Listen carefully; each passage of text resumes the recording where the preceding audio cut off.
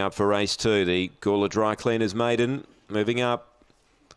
220, Ronnie Jolie is going to go off the favourite here. And uh, last couple being loaded. We're just about set here.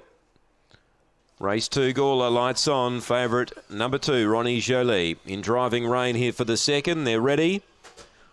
Set racing. Ronnie Jolie beat them out. It's already a length and a half in front. Phantom Chili missed it. Moving up to second, Dolly Quokka goes up to join the leader. Two lengths away to Bad Seed in third. Deadly Sweet ran to fourth. Then Phantom Chili and Onyx Bale. Leader on the outside, Dolly Quokka gets its head in front. Ronnie Jolie kicks back, running on Bad Seed. It's Dolly Quokka and Ronnie Jolie. Ronnie's come off the canvas.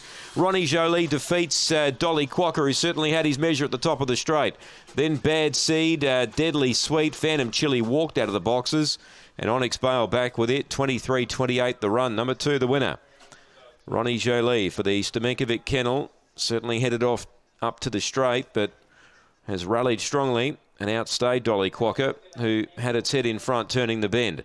Seven third bad seed and 10 gets fourth deadly sweet. 2 4 7 10.